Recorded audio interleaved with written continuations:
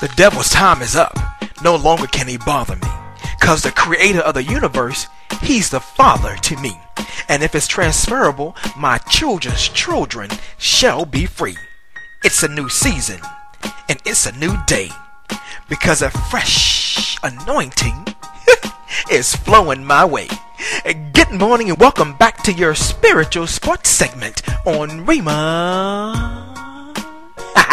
Gospel Radio, better than when you heard it the last time you heard it. I'm CJ. Here we go. The National Basketball Association had a plethora of games on the hard court last night as I run down the first five sets of scores as the Dallas Mavericks was led by O.J. Mayo's 26 points to topple the Philadelphia 76ers 107 to 100.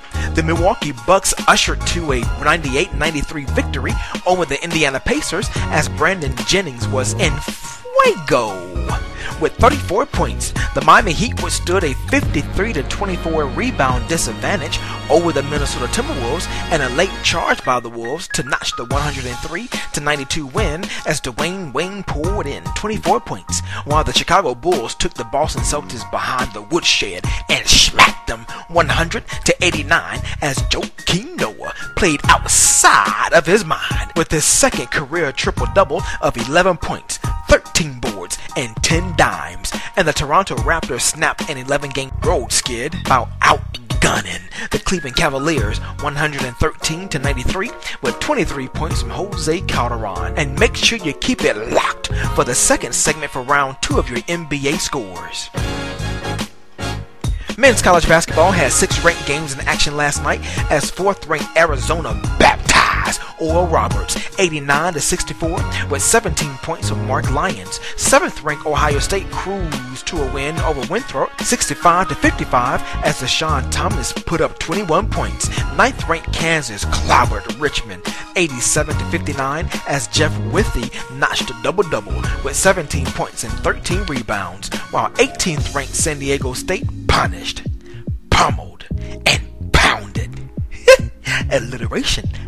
Love it. Point Loma 76 to 49 with 17 points from Xavier Thames. 20th ranked Michigan State defeated Bowling Green 64 to 53 as the Spartans shot 48% from the field, and 25th ranked North Carolina State held off stubborn Stanford 88 to 79 with the help of Lorenzo Brown's 24 points.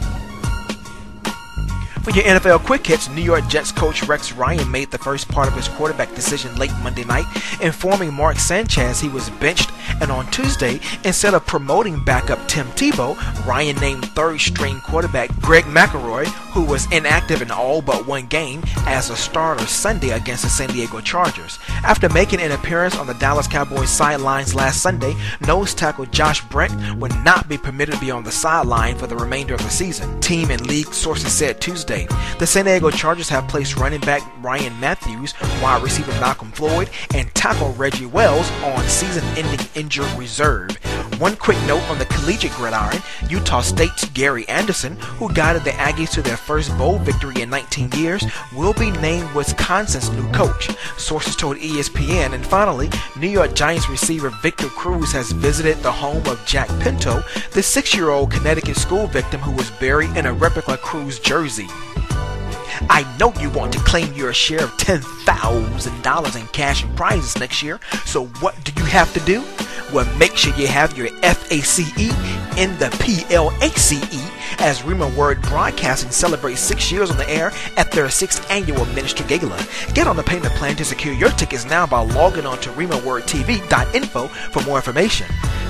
To catch archives of your spiritual sports segment, log on to my innovative blog site, ceejaysports.com, and make sure you're giving that follow on Twitter at cjsports, and don't forget to like me on Facebook at cjact. Stay tuned for more updates on your next spiritual sports segment, where we sprinkle a little spirituality. in your sports, I'm CJ. Be blessed and keep smiling because God has something special in store for you.